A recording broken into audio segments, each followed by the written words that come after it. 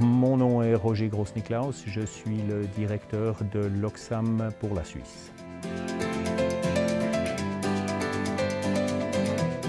L'Oxam Suisse est une entreprise qui loue du matériel aux professionnels et non professionnels, du matériel de chantier, mais également tout autre matériel euh, d'accès, d'élévation, de manutention.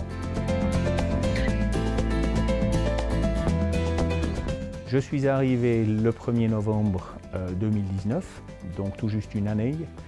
Euh, mon rôle consiste à, d'une part, faire le trait d'union entre le siège du groupe sur Paris euh, et mes collaborateurs ici sur, sur la Suisse.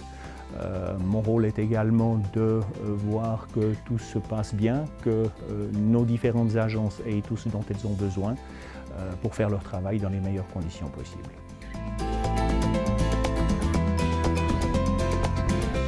Un événement en particulier, je ne pense pas. Je crois que tout mon parcours a été un événement, si je peux le dire comme ça. Euh, j'ai découvert quelque chose que je ne soupçonnais pas, euh, un groupe aussi important que ça, euh, avec une multitude de collaborateurs, des structures bien établies. ce qui m'a frappé en particulier, c'est le gigantisme de l'Oxam. Essaye en fait de répondre à chaque besoin particulier euh, comme objectif principal la satisfaction de nos clients. C'est une question qu'on nous pose souvent. Euh, c'est vrai que la connotation de machine de chantier ne se prête pas forcément à la protection ou à la valorisation de l'environnement. Euh, ce sont des machines bruyantes, polluantes par définition. Euh, maintenant, il existe effectivement une évolution dans ces machines-là. On trouve de plus en plus de machines électriques que nous acquérons euh, petit à petit.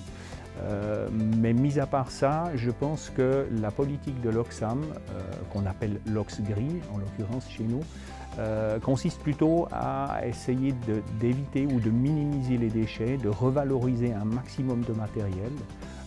par exemple, une machine qui arrive en fin de vie, euh, chez nous, elle n'est pas simplement jetée, euh, on va essayer de la vendre euh, en seconde main. Il y a de grandes entreprises qui organisent des ventes aux enchères à cette fin. mais également les machines qui ne partent pas dans ces ventes aux enchères sont revalorisées dans une usine de revalorisation que nous avons sur la France.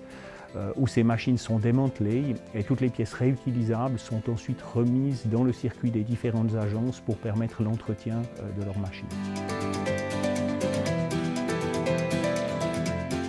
Le prochain défi, il est immédiat, c'est de passer à travers cette crise du Covid qui nous a tous touchés, qui nous touche encore. Euh, on l'a vécu dans toute sa splendeur, si je peux le dire comme ça, euh, sur le printemps, elle a, perturbé beaucoup euh, l'économie euh, nationale et internationale. maintenant, nos défis, c'est effectivement de passer au travers, ce qui n'est pas toujours simple puisqu'on ne sait pas de quoi demain sera fait.